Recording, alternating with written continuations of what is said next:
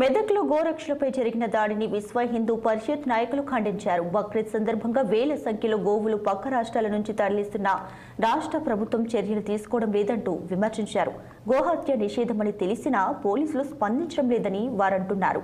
ఇప్పటికైనా సమస్యాత్మక ప్రాంతాలను గుర్తించి బంధించిన ఆవులను వెంటనే విడుదల చేయాలని విశ్వ హిందూ పరిషత్ నాయకులు డిమాండ్ చేస్తున్నారు. ప్రభుత్వం ఓటు బ్యాంకు రాజకీయాలకు పాల్పడుతుందని ఎద్దేవా చేశారు. ఇక మెదక్లో గోరక్షకులపై దాడులకు పాల్పడిన వారిపై చర్యలు తీసుకోవాలని డిమాండ్ చేశారు.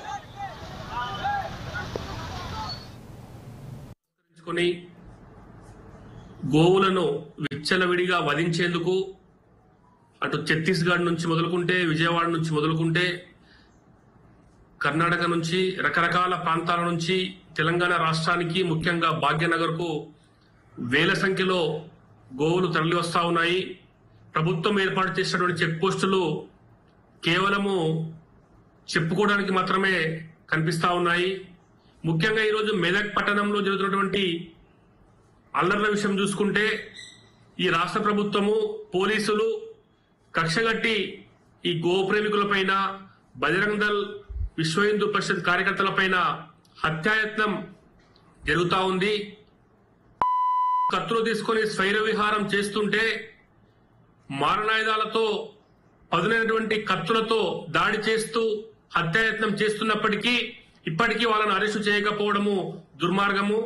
అదేవిధంగా ఎవరైతే బాధితులున్నారో ఎవరైతే గాయపడ్డారో ఎవరైతే దెబ్బలు తిన్నారో వాళ్ళని రిమాండ్ చేస్తూ ఈరోజు ప్రాంతాలకు గురి చేస్తూ ఆవులను కోసేందుకు రాష్ట్ర ప్రభుత్వము పోలీసులు దగ్గరుండి ఈ యొక్క కార్యక్రమాన్ని నడిపిస్తా ఉన్నారు.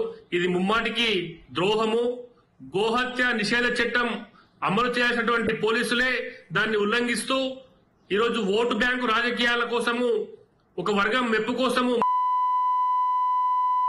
పరమ పవిత్రమైనటువంటి ఆరాధ్య దైవంగా పూజించేటటువంటి గోవులను వధిస్తూ రెచ్చగొట్టేటటువంటి కవ్వింపు చర్యలకు పాల్పడుతున్నటువంటి మూకలను వదిలేస్తూ భయపెట్టిన సంఘటన ఈ రాష్ట్ర ప్రభుత్వం చేస్తా ఉంది.